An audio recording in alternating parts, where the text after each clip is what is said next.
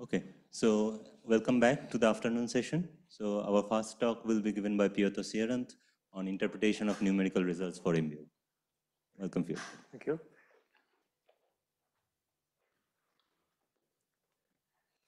Okay. Uh, uh, good afternoon to everybody. Uh, thank you. And uh, I would like to first of all thank the organizers for organizing this this uh, nice conference in the in wonderful setting. And my today's talk will actually have two parts, so the title might be a bit deceiving. The first one will be about model localization, and I will try to motivate the, motivate the question or motivate the question how, from the numerical standpoint, why do we would like to ask uh, and answer this question. Uh, and I will briefly describe one exact diagonalization approach uh, that I've been developing uh, and give some numerical results for, for disordered spin chains uh, at the crossover between ETH and MBL. and in the second part, I will talk about uh, some type of uh, random quantum circuits in which I will, I will in this case, ana analytically show some uh, existence of some error resi resilience phase transitions, which I think might be interesting from the point of view of ergodicity properties of, of, of, of such models. Okay, so let's go to the many-body localization problem uh, that has already been introduced uh, in a number of talks. So I'm directly jumping to the random field XXZ uh, spin chain. Uh, and I would like to look at its dynamics uh, through the lens of, of the imbalance, the, the autocorrelation function for the SZ component. And uh, the results which we get, and that we all probably already have seen in, in various incarnations, are, are, are the following. First of all, if in the absence of interactions, if delta is equal to zero, this model uh, reduces to Anderson system. And then we get this uh, shaded uh, uh, behavior of the imbalance, which oscillates and then saturates to a constant and is not changing for, for, for this value of the system size over wide uh, uh, interval of, of times. However, when we introduce the interactions, and now we are asking the question of what, what is happening in, the, in this interacting model, then we see the two uh, effects. First of all, the in, in the presence of inter interactions, the imbalances are slightly smaller. But then we see that the introdu introduction of the in interactions introduces those slow decays that persist to longer and longer times for la larger and larger system sizes. And for, for at those finite system sizes, the imbalance uh, saturates to some, some value which is non-zero, uh, and system is not, not, not ergodic uh, at this, at this system size. However, the true question is what happens in the infinite time limit. So we can ask the question about the infinite time averages, for instance, for the, for the imbalance, and as we increase the system size. And that's the question about the MBL phase. So, and, and these data uh, are, uh, are not so easy to interpret because we see this, this, this uh, downward trend of the imbalance with increasing system size. And in order to see whether really there is a MBL phase in the limit of infinite system size, it's, it's hard to decide based on, on, on, this data, and this motivates the question of uh, how of whether the many-body localization phase exists. uh, and to, to motivate, to, to show further the, the problem, uh, I'm still sticking to the random field uh, XXZ spin chain. Uh, and I did some tensor network uh, simulations, this time for large system size, and that disorder strengths that are very large compared to the disorder, disorder uh, strengths that arise in uh, exact diagonalization studies of this model. Even though disorder is so strong, we see some, uh, some decay of the imbalance, um, which can be, for instance, fitted with a power law, uh, whether this is a power law, uh, this is this is uh, well fitted with a power law in this in this in this time interval. However, for instance, logarithmic time dependence would work equally well in this in this time interval. and then the coefficient of the the power uh, which we get in the power law is very, very small. So on one hand, like we see non-trivial dynamics, the persistent decay of this, of this correlation function. Therefore, it's hard to say what really happens in the limit of infinite times uh, for this large system.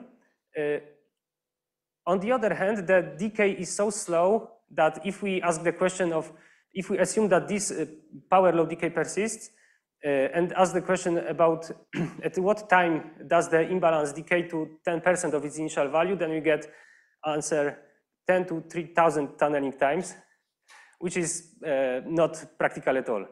Uh, so, of course, this, uh, this leads to the question about the relevance of the, of the MBL phase. Uh, however, like from my standpoint, it's, it's very use, interesting to look, look uh, for this, uh, for this, uh, for the answer to this question, which is fundamental for the behavior of, of interacting quantum many-body system systems. And one other example which shows the, that the timescales and length scale can, can be very large is Anderson, Anderson model in 2D, which, as we all know now, is always localized uh, if, the, if the system is time reversal invariant. However, if we look at the localization length, it is so, so quickly increasing that if we consider lattice that is covering the Earth and assume lattice spacing 10 to minus 10, we'll see that the, this model is delocalized at disorder strength of about uh, slightly smaller than unity. So, uh, so even though the time scales and length scales that, that are associated with this with this problem are, are maybe very large, I, I believe this is this is an, an important question. and uh, one way of studying the system is to look at the time evolution, but as, as I'm arguing, it's quite hard to say what, what is really happening. Uh, the other approach would be to take the, the limit of infinite times by looking at the eigenstates of the model and probing, for instance, eigenstates or uh, its spectral statistics. However, then uh, if you want to find the eigenvectors numerically, uh, the, the Hilbert space dimension, which increases exponentially with, with the system size, is, is a problem. Uh, for this uh, XXZ spin chain in the S equal to zero sector, we get this scaling of the, of the Hilbert space dimension, which means that in full exact diagonalization, nowadays we are able to reach uh, roughly L equal to 18. Uh, however, the, this matrix is sparse in the uh, eigenbasis of Z operators, uh, which leads to the question of whether we can use this, this sparsity to, to get to slightly larger system sizes. Uh, and then there are various possible approaches, and the, the, this PolFed uh, algorithm is one possible way, and it is based on Lanczos algorithm. Uh, Lanczos algorithm uh, performed for uh, given Hamiltonian is a, an iterative method that converges to exterior eigenpairs of this, of this Hamiltonian. So with the Lanczos iteration, we can find ground state or highest, uh, highest excited energy state. However, if we are interested in the states in the middle of, man, of many-body spectrum of the Hamiltonian, we won't be able to, to get any meaningful information about that from the Lanczos at, at system sizes that exceed the exact diagonalization uh, uh, range. Uh, the trick that allows to uh, extract information about the, extract the eigenstates from the middle of the spectrum is to use a, a spectral transformation. So the idea is that instead of the Hamiltonian, we are considering certain function of the Hamiltonian. For instance, high order polynomial. And this high order polynomial of, this, of the Hamiltonian can be, uh, uh, can be chosen in such a way that it is strongly picked around certain value of the energy in the spectrum. So the spectrum of the Hamiltonian is now scaled from minus one to one. And then the Hamiltonian is strongly picked around, around energy equal to zero. And then if we perform Lanczos iteration for this uh, high order polynomial of the Hamiltonian, we will, it will again uh, converge to eigenvectors that are uh, at the edges of the spectrum of this transformed matrix. But now at the edges of the spectrum of the transformed matrix are the eigenvectors which correspond to energies in the middle of the spectrum of the Hamiltonian. and that's the, that's the idea behind the, the PolFed algorithm, which we uh, propose in, in this work. Uh, and the, the gain of this PolFed algorithm with respect, for instance, to shift and invert trans, uh, method that was used earlier in the studies of many-body localization is that uh, we are just considering high order polynomial of the, of the matrix, which means that in order to act with, the, with this high order polynomial on vectors, we are just performing multiple multiplication by the Hamiltonian and linear algebra operations. So we keep the sparsity pattern of the, of the matrix. in contrast, shift and invert method doesn't keep, keep this pattern, which uh, translates into the uh, memory requirements. For instance, if you look at L equal to 24, um, PolFed allows us to get eigenvectors uh, using hundreds of gigabytes of RAM. So on, let's say, one node of, uh, of present-day supercomputers. In contrast, shift invert allows to do that using uh, um, 12 terabytes of RAM, which is, uh, which is a, a, lot, but it, it is possible. And then the total CPU time is kind of comparable, but it's, it's just much larger uh, simulation, much harder to deal with. Um, and then if we are thinking, for instance, about uh, systems without disorder, for which PolFed could also give us some, some, some insights, then we will be able to reach larger size just because of this lack of this problem with the scaling of the memory. And also polynomial, uh, polynomial spectral transformations can be used for Floquet systems. So uh, the only thing that we need uh, to, to extract eigenvectors is, is to be able to act with those matrices on the, on the vectors. And if we have Floquet systems which are um, in, uh, have Floquet operators of such form, then we can usually, we can find situations in which we can act with this one easily on the vectors, then we can uh, do some transformation and act easily with the second operator, which uh, allows to get uh, uh, eigenstates of, of Floquet operators for quite large system sizes, as it was first proposed in this work by David Luitz. And then there's polynomial spectral transformation is slightly different. It is a geometric sum. Uh, the idea is that it's again uh, strongly peaked around certain tar target uh, phase around which we would like to extract the eigenvectors. So let us now look at the uh, this uh, now J1, J2 model, which is just behaving very, very much similar fa uh, fashion to the XXZ spin chain. It has just additional near nearest neighbor terms. And if we look at the gap ratio as function of disorder strength, we see this broad crossover between ergodic regime and MBL regime. Uh, in the MBL regime, if we increase system sizes, we see that the gap ratio is tending towards Poisson value. In ergodic regime, it is close to the RMT prediction. but there is this strong a mm, strong drift of the crossing point as we increase system size. and uh, as, as we see, for, for instance, in here, the first crossing point is at six and the last crossing point is at 10. And this is the range of the systems that are available with, mm, let's say, with, uh, with this PolFed if we, if we want to really have a meaningful statistical average of the, of the data. So the question is how to uh, analyze such a crossover. And uh, my proposition is to look at the two types of the behaviors that are visible here.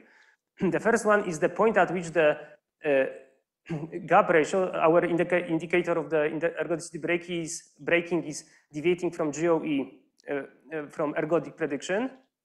And that would define as WT, which is, which is one characteristic length uh, disorder state that, that characterizes the uh, shift of this crossover with system size. and the other is the crossing point.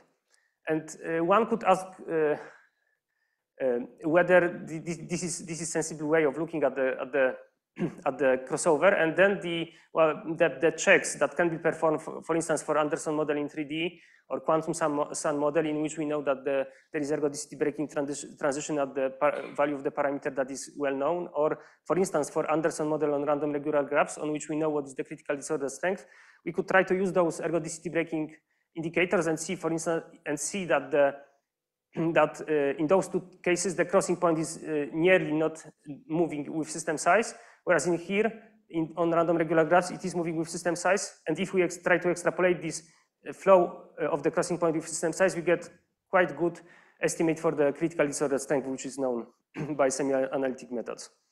Uh, and one uh, point that I, I, would like to make is that if we have very strong drift of the crossing point, then we should be very careful when we are doing uh, uh, single parameter scaling.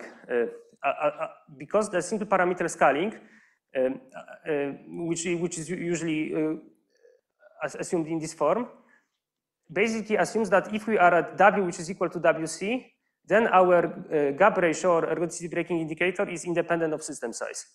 Uh, just because the, the value of it is the value of this function at uh, parameter equal to zero.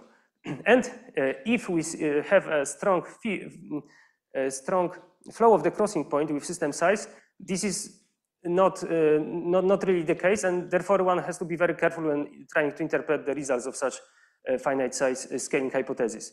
The way around that would be to introduce uh, subleading terms to the scaling, but then it makes the uh, analysis of the crossover much less constrained and the results are not so not so powerful because the, the range of the system sizes that we have is, is quite small. So uh, I, I, won't be trying to do any uh, finite size scaling analysis of this crossover. I will be just looking at the uh, system size dependencies of, of those two disordered strengths. Uh, and then if I look at the J1, J2 model on, or XXZ model, and I plot one over system size vertically and disorder strength horizontally, I see two very different behaviors for the crossing point and for the for this WT, which is the um, which is this boundary of the which is the uh, which is the point at which the uh, properties of the system deviate from the ergodic regime. Uh, this WT is scaling more, uh, with good uh, approximation linearly with system size. And it was uh, uh, highlighted strongly in, in work by, by Šuntajs and, and Lev. but then the crossing point seems to be slowing down. It shifts, shifts, shifts, shifts, seems to be slowing down with increasing system size, and then it can be quite nicely fitted with 1 over L dependence. Uh, and similar behaviors are visible if we look at the level statistics or, for instance, the entanglement uh, sorry, uh, rescaled, rescaled and bipartite entanglement entropy of mid-spectrum eigenstates. Then we get, uh, get those one over L scalings. And then the problem is that those two scalings are evidently incompatible because the crossing point must happen after we have deviated from, from the GOE behavior. Uh, which means that uh, if, if we try to extrapolate the two scalings, we, will get some, uh, some contradiction uh, they cannot both be valid. Uh, and the, the larger system size at which it, it will be possible to, to, tell which of them is invalid is L equal to 50, um, at, at, which the, those two things cross both in, in J1, J2, and XXZ models. And then, uh, so uh, extrapolating WT scaling, if we believe in this scaling, uh, we conclude that there is no MBL phase. If we believe in this scaling, we conclude that there is an MBL phase, and then if we try to extrapolate, we get some candidate for critical disorder strength. I'm just uh, uh, emphasizing uh, the word candidate uh, because like there is there are no strong reasons to believe that this one over L scaling uh, will really work for those interacting models. It does work for RRG. whether it, it could work for, for those models, it's, it's not, not, not obvious. So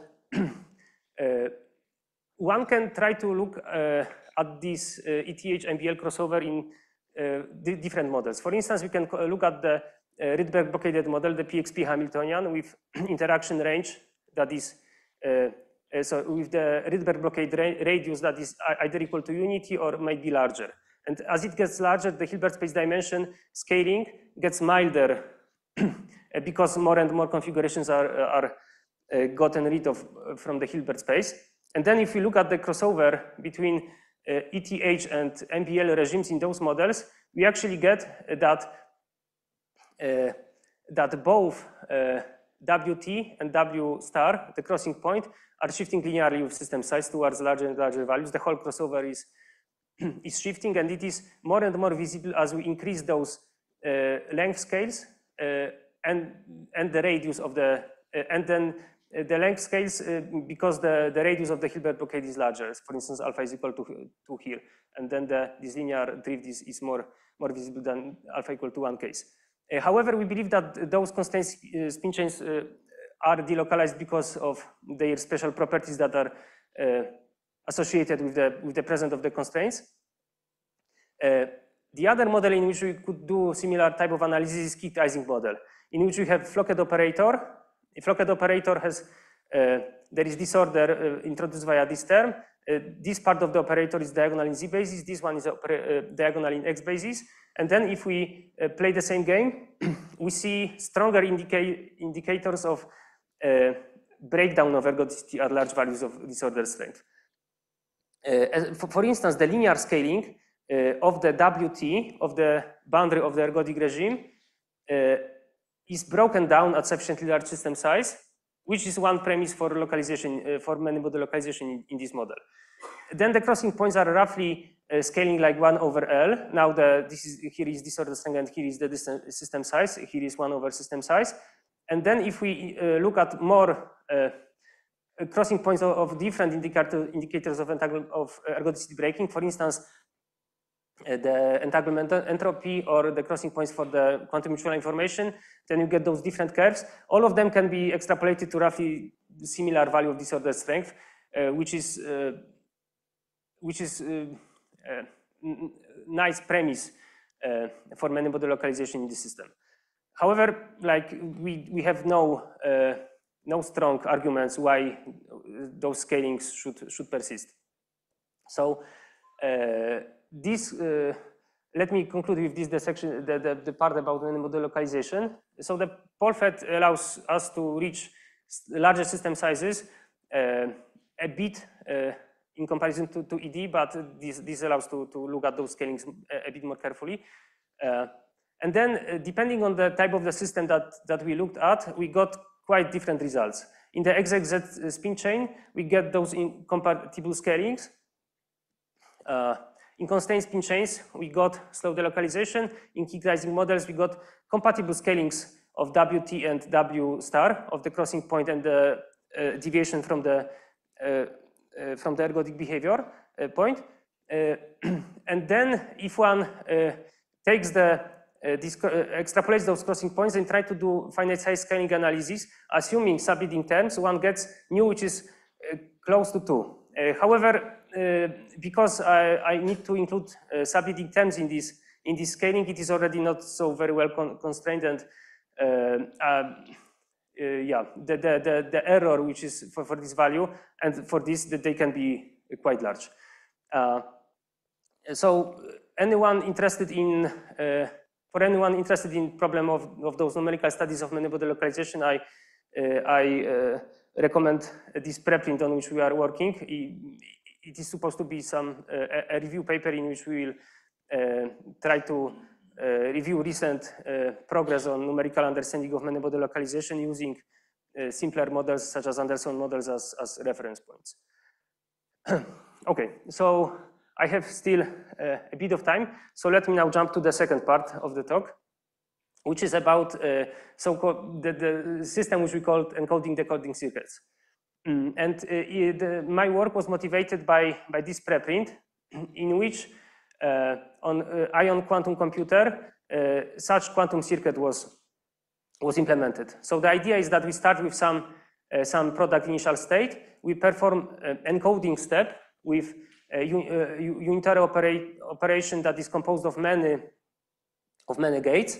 then there is a layer of, of local errors. Uh, in this case, those are just uh, rotations about z-axis for uh, mm, by some angle alpha, and then we have we are acting with U-dagger, which and then we are doing measurements on some part of the system, and then we are looking at the properties of the state in this subspace on on k qubits. So uh, if we had no errors, then uh, this would be like trivial operation. U and U dagger will cancel out, and then we will see that we have the same state at the, out, at the output uh, the same that was prepared at the input. However, as those uh, errors are introduced, the properties of the system may change. Uh, and then the conclusions of this, the, those work was that there are there may be two phase transitions depending on the properties that, that one looks at. Uh, so this motivated uh, us with, with Turkeshi to consider the following circuit architecture in which this encoding step is a global unitary we have layer of errors, and we have decoding unitary, which is UDagger. And then the words here are uh, borrowed from the term terminology of quantum, uh, quantum error correction, uh, correction. Because in quantum error correcting setup, one assumes that there is some state that we would like to remember. And then in order to do that, and then in order to correct errors, we have our state psi x, which we want to remember, we encode it it onto larger Hilbert space on which there, there might be errors. and then we perform uh, uh, uh, decoding steps in order to retrieve this, this state. So in our case, we have k logical qubits and n minus k ancilla qubits. Uh, and finally, in order to re retrieve the state, we are just assuming the projection on the ancillary state, the same that we, that we started with. And we are as, uh, on those k logical qubits, we have final state that might be uh, in general mixed, and we, we are looking at its, at, at its properties. So uh, in this setup, we are assuming that the encoding unitary is just global uh, random Haar gate, and that we have uh, local, uh, local errors that can be either co coherent rotations uh, as the preprint realizing quantum computer, uh, or, uh, or depolar depolarizing local channel that we specified by those Kraus operators. Uh,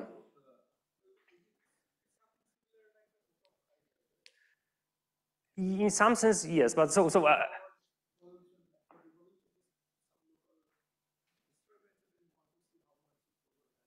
Yes, exactly. Yeah, so, so, so some, some kind of echo protocol as, as, as well, but, but with, those, with, with those errors.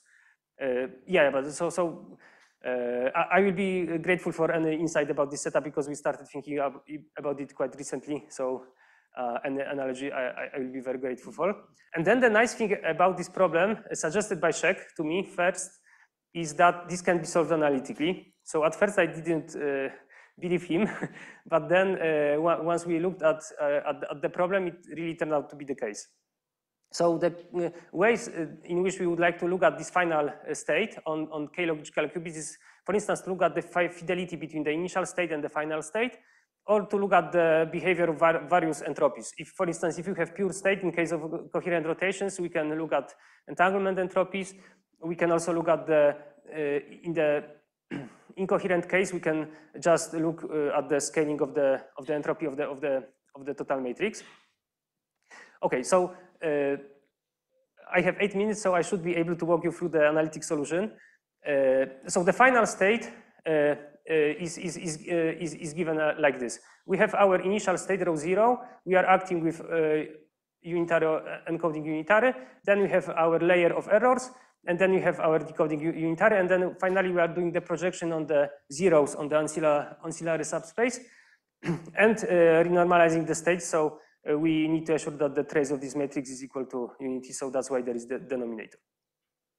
And for coherent errors, uh, yeah, let's define R alpha as just the product of all of the, those coherent rotations. And I, I, will show the results for the, for the coherent case. And actually, the incoherent case can be treated with the same uh, analytical trick.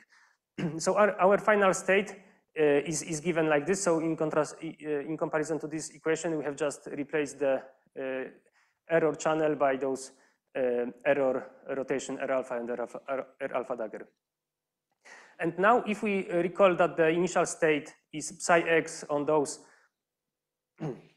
so on logical qubits and zeros on ancillary qubits, uh, then we immediately see that the fidelity has this form in which there is projector on on the initial state, uh, the operator that does the time evolution, and then the final state, which uh, this is a product of matrix elements of, of, of, of those observables. So this can be written uh, in a doubled Hilbert space uh, as, uh, as element of, as matrix element of, of, of this operator, which is now acting on doubled Hilbert space.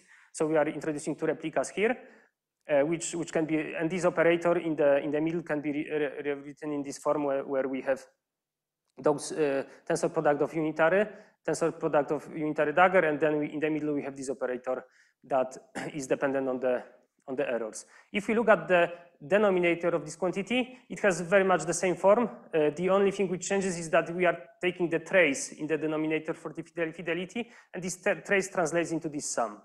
So uh, uh, all in all, we can re rewrite the fidelity in form of, of, a, uh, of such a fraction in which in the nominate, nominator we have this operator AU uh, and some operator which tells us what, what's the band, which encodes this the state that we are taking the trace with. For instance, uh, in this case, this will be just the projector onto onto the onto the, those this state. In denominator, we can also also write it in this, in this manner. And now actually we can uh, play the same trick for other quantities. Uh, for also for the entropies, we can always write the, the, the, those quantities in the same manner in which we have certain operator which, which, specifies the quantity that we are interested in. We have this operator AU, which acts in the, in the now replicated Hilbert space. Depending on the quantity that we are interested in, the, the, we might need to use a larger number of uh, replicas. and then this operator is acting on those uh, on the larger number of replicas, uh, and it is encoding the the, the error layer. Why those uh, those operators are uh, encoding the quantity that we are interested in, and then uh, we can uh, look at the if we were to look at this system in numerics, we will just, I, I would just uh, start with initial state, act with U, act with errors, act with decoder, uh, get the final state, and then average the results over the realizations of the unitary. And this is, the, this is what we call uh, annealed average. We're just taking the expectation value of the unitary group uh, uh, of, the, of the quantity that we are interested in, and this is what this quantity can be calculated numerically. However, if we consider also quenched average, which amounts to taking the average of the operator that specifies the, uh, the uh, this, this circuit. So it, it amounts to taking the uh, uh expectation, the Haar average, the average over unitary operations of, the, of these operators AU. And then if we calculate numerically, can we analytically, can, we can calculate the trace in the numerator and trace in the denominator. And then a nice property of the of those, uh, of those uh, quantities that they are self-averaging, and the uh, annealed and quench averages are very close, close to each other, exponentially close in, in system size. Sorry, expansion, um, yeah, like, like this, exponentially close in system size. That's, and now, uh, so let, us come back to the fidelity, which is the simplest case. We just need uh, double, doubly replicated space. uh, and then in order to perform this uh, expectation value over, over unitaries, uh, we are using Schurter du duality, which is the uh, which is the result which tells us that the average expectation value of such operator uh, can be can be expressed in this way. Uh, we have sum over S2, which is permutation group of two elements. So, and then in general, if we have a quantity that requires uh, two Q replicas, in here we will have S S2Q. So at larger values of Q, this gets uh, complicated. Uh, this gets to be complicated. However, at Q equal to one, if we are interested in fidelity, it is just two elements uh, in, in the group, and we need two Weingarten symbols, which can be uh, taken from, from tables. Uh, and then the, this uh, average operator will be, be just a linear combination of two operators, which are a representation associated with the representation of this permutation group in the replica space. One will be identity and one will be just swapping the replicas. Uh, so basically we can look at Wikipedia, Wikipedia what are those uh, symbols. They are given like this. Uh, and then we can evaluate those, those traces, which is again very simple because uh, because the, this representation has tensor network structure in uh, among the sides of the system. And then if we plug those two expressions into uh, those coefficients, and then we use the uh, sw swap and identity representation, we can calculate the numerator and denominator and get the final exact um, result for the quenched average. the same procedure can be done for incoherent errors for, the, for this local depolarizing channel, and the result has the same form. If there is just this cosine is replaced by something which expresses the strength of the local depolarizing noise. And then we get, uh, we can look at this, uh, uh, at the behavior of this fidelity as we increase the strength of errors, both in coherent and incoherent case. And we see a transition between a phase in which uh, fidelity goes to unity and fidelity uh, goes to zero at large values of, uh, of alpha. there is crossing point, which is now stable with system size. Uh, as we keep increasing system size, so uh, the average, the, the numerics gives us the annealed averages, while, the lines are the quenched averages, the, the analytical expressions, so they are already very close at 8 qubits. Both for uh, coherent and incoherent case. And as we increase system size, we, we can just look at the analytic expressions to, to get what are the properties of the transition. We get uh, nu equal to one, both for, for, mm, for uniform errors, both in coherent and incoherent case. Uh, and then we can uh, plot the phase diagram of the system, uh, which, which allows us to tell us what are, what are the phases if we vary the R, which is the which is which tells us what is the fraction of the qubit uh, log logical to ancillary qubits. And finally, we can treat disorder because at each uh, fixed realization of those errors, we can just uh, generalize the earlier expression. Instead of now cosine to high power, we have mm, product of many cosines.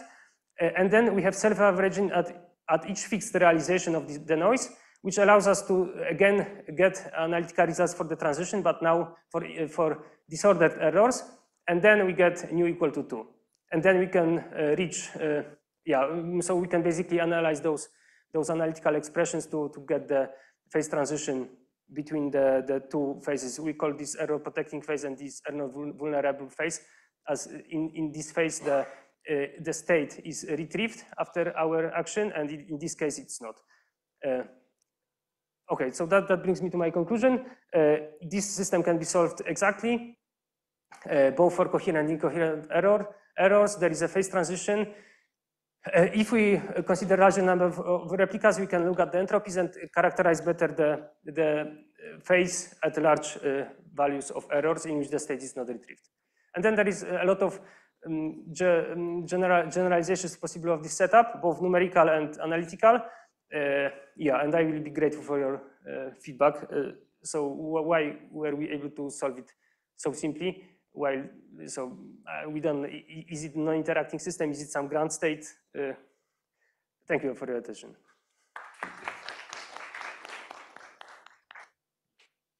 Uh, what is value of alpha, critical value of alpha? I didn't see it. Yes. Uh, yeah, so we can extract it. Uh, uh, I, I, am not giving it. we have it analytically as function of, of, for instance, code rate of all of the parameters of the system. Ah. We can also extract, the, for instance, the, the shape of the scaling function. Uh, so that critical alpha was universal in your setup, no? Uh, critical alpha. In what sense uh, universal? what are the parameters? I didn't see any. Yeah, so so the, yeah, so alpha determines the the strength of those local yeah. rotations. Uh, in here, the in the incoherent case, if we have local depolarizing noise, then we have uh, the, this, this lambda which parameterizes the Kraus operator. Yes, but for this setup, alpha is doesn't depend on anything, no? Uh, it does depend, for instance, on the so-called code chord rate, so the rate of the number of the logical to ancillary qubits. Yeah. Ah, okay. So, and, and for instance, for vanishing code rate, so for R, uh, R going to zero, we do get that phase transition at for incoherent case. In coherent case, there is no, no transition. The state is always retrieved. Thank you. Any other questions?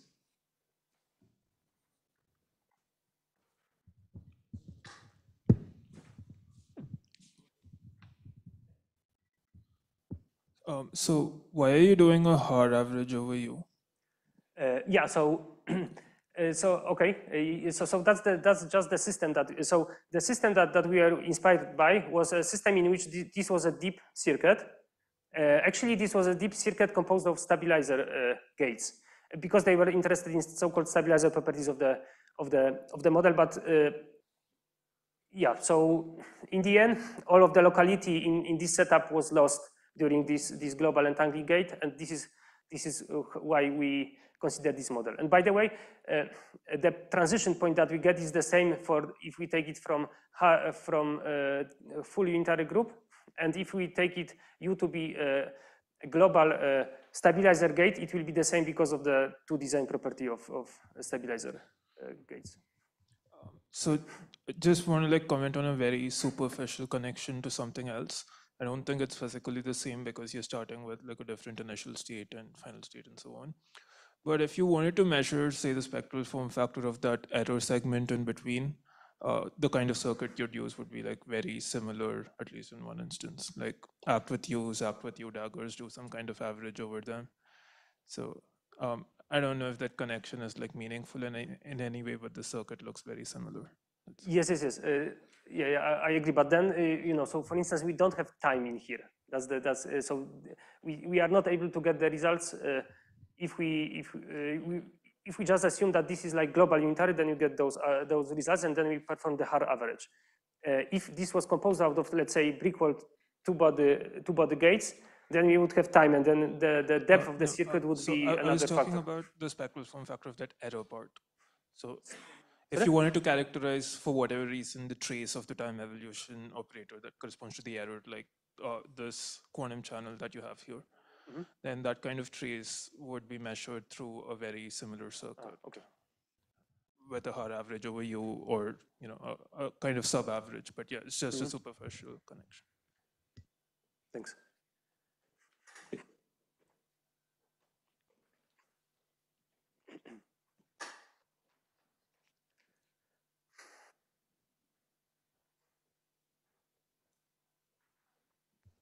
What if your noises are correlated, like the local, you are right now dealing with local errors Mhm. that is working on each qubit. Yes. Uh, so- But what if these errors are correlated, let's say simultaneously working on two qubits? Uh, yeah, so uh, so ah, so you you are saying that if they are uh, because correlated can be uh, uh, if they are just random numbers and if I have this error model uh, which are is characterized characterized by the error strengths, uh, they can be correlated random variables, and then that, that's no problem. That this this this procedure will work. Maybe the behavior of this product will be different, and then the, maybe the exponent will be different. Uh, however, uh, in the analytic solution, solution that I am presenting, uh, it, it matters. It- it- they must be on site. Uh, if, if I had these two sites, then it would be probably more complicated, and I don't know. At some point, it, it would cease working probably. Because then the evo- so so that would amount to how we are able to whether we are able to calculate those traces easily or or, or not so easily. Yeah. Okay, so if there is, oh, one last question maybe.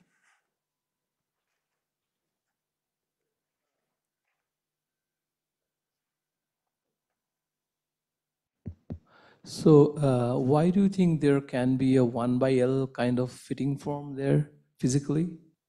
Uh, one by in the uh, previous, the uh, previous, uh, you mean in, in, in this model? In, uh, in the ah, previous, ah, ah, in, in many-body localization. yeah. Ah, okay, I, I, can, I can rewind to that slide, but uh, the answer is I, I, I don't know. If I had good argument for that, I would, I would be, you know, saying, I would, wouldn't be highlighting the word candidate. I would say, uh, Can it be because at large or large scales there are some uh, tunneling processes which which are suppressed? If there's uh, there is some density of resonances which are uh, which are separated uh, with system sizes and those rates are suppressed when the system size increases. For example if you start if you think of the set of resonances which are really long range. For example uh, one nil pair to the other nil pair partner so these kind of resonances are connected through non-perturbative tunnelings. So these tunnelings are suppressed as the system size increases. So can those non-perturbative suppression of those non-perturbative things with system size can be a reason of this kind of scaling? Um, so it's uh, it's interesting proposition, but I I, I, I, am not sure. You know, so one way of trying to make that quantitative is the this crossing point is drifting. Uh, it corresponds to uh, subleading terms in the in this critical scaling. So if we introduce another uh, term here, it will make the uh, crossing point uh, scaling. And then if we have some theory, uh, for instance, like the, the some, some types of those renormalization groups, which assume certain type of resonances and that they are interacting uh, and percolating in some, some manners, then we try to ex- extract the scaling from, from that and try to compare it with that scaling. But uh, yeah, if that would work, that would be amazing. But at this point, I, I, I am quite skeptical. Okay, so let's thank the speaker again and thank you.